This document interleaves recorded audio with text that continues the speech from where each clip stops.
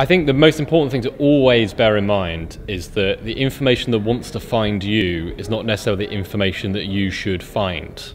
Um, you know, look beyond the things that are going viral, look beyond the kinds of messages or opinions or catchphrases that kind of are shared so easily on social media.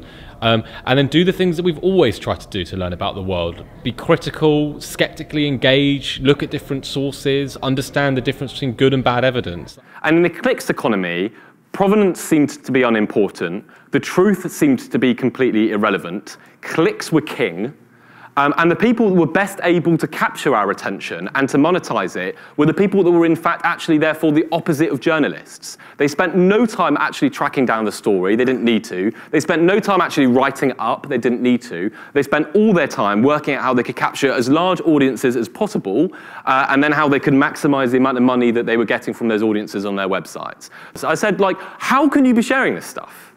Like, none of this is true. This is all obviously completely false. And he said, Carl, I've never, don't even read this stuff.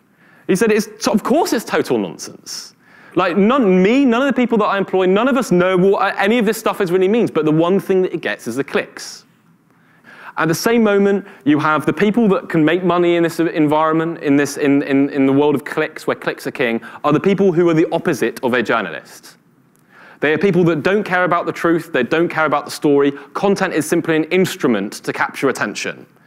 Uh, and once captured, um, their entire world is around how to monetize it. It's kind of, it's, it's a cash crop, fake news. Um, it doesn't do, it's not for domestic consumption, it's for export.